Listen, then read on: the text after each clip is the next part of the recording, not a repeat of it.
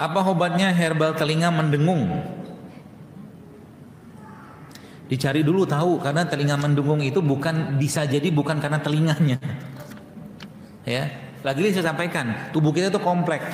Ya, maka dalam ilmu jadi saya itu kan alhamdulillah tuh Allah kasih kesempatan belajar berbagai macam ilmu lah ya, ada akupuntur, akupuntur semua saya pelajarin lah gitu kan. Ya ternyata uh, telinga itu juga ada hubungan sama organ. Ya. Jadi kalau memang nggak ada masalah secara fisik di telinganya, jangan diotak-atik telinganya, tapi cari masalah di organnya.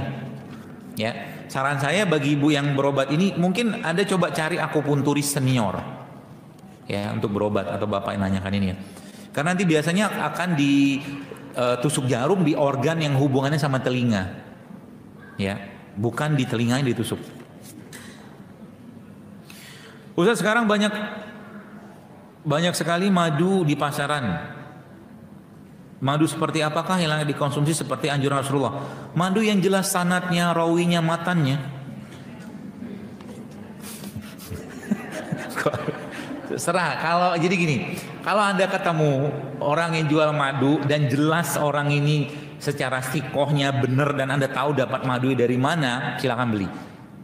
Kalau kalau orang awam, boleh saya katakan frankly speaking, sulit membedakan madu itu benar atau enggak.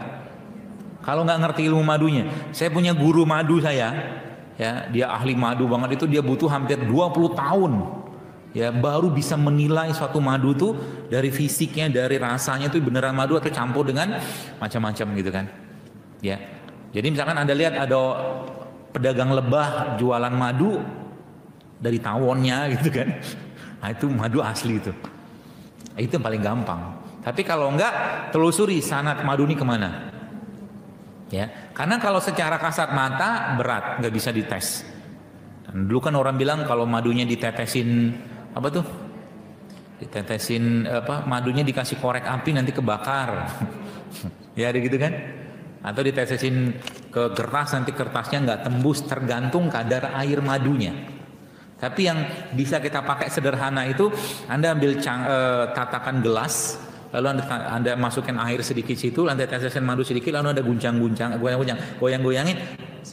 Setahu saya, kalau madunya benar, dia akan membentuk heksagonal. Yang madunya tadi itu, dia akan membentuk seperti heksagonal atau segi enam. Video ini disponsori oleh Madu Asli Madu Solo. Silakan berbelanja agar kami senang.